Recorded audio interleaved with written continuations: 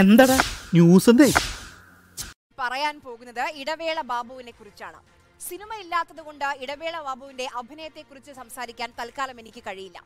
പക്ഷെ പറയാനുണ്ട് എല്ലില്ലാത്ത നാവിനെ കുറിച്ചും ബോധമില്ലാതെ വിളിച്ചു പറയുന്ന വാക്കുകളെ കുറിച്ചും ഏത് ഗുളിയം കയറിയ സമയത്താടോ ഞാൻ ഈ സിനിമ എടുത്ത് തലേ വെച്ചത്? ഒരു പരിചയമില്ലാത്ത ആൾക്കാരെ വിളിച്ച് തെറി വിളിക്കാൻ.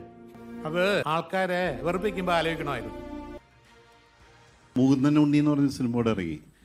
ഇതിനെ എങ്ങനെ സെൻസറിങ് കിട്ടിയെന്ന് എനിക്കറിയില്ല. കാരണം ഫുൾ നെഗറ്റീവാണ് ആണ്. ഒരു അഞ്ചു പൈസ കുറവുള്ള ആളാ. അയാൾ എന്താ എപ്പോഴാ ചെയ്യണെന്ന് പറയാൻ പറ്റില്ല. അടുത്തിടെ മലയാളത്തിൽ ഒരു സൂപ്പർ സ്റ്റാർ അഭിനയിച്ച ഒരു സിനിമ പുറത്തിറങ്ങിയിരുന്നു. വാരിക്കോരി ദ്വയാർത്ഥം വരുന്ന ഡയലോഗുകളും സ്ത്രീ വിരുദ്ധതയും അരച്ചു കലക്കിയ സിനിമ. മിണ്ടാതിരുന്നാലും എന്തിനാ ശ്യാമള വെറുതെ മെക്കിട്ട് കയറുന്നത്? യൂണിഫോം ഇട്ട് കഴിഞ്ഞാൽ അറിയാതെ പലത് തികട്ടി വരും. സോറി ആശാനേ റിയൽ സോറി ചേട്ടന്റെ വക ഒരു ക്ലാസ് ചോദ്യവുമുണ്ട്. മൂല്യച്യുതി സംഭവിച്ചത് പ്രേക്ഷകർക്കാണോ എന്നും. അള്ളാനെ ഇതെല്ലാം കൂടി നമ്മൾ കുറ്റം.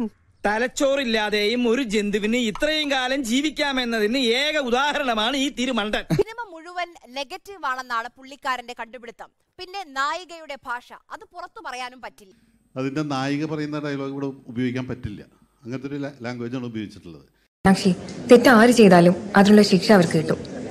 എനിക്ക് കർമ്മയിൽ വിശ്വാസമുണ്ട്. വിശ്വാസം നല്ല ഇങ്ങനെ ഊമ്പിത്തിരിഞ്ഞിരിക്കുമ്പോ എന്തെങ്കിലുമൊക്കെ ആലോചിച്ച് സമാധാനിക്കാം.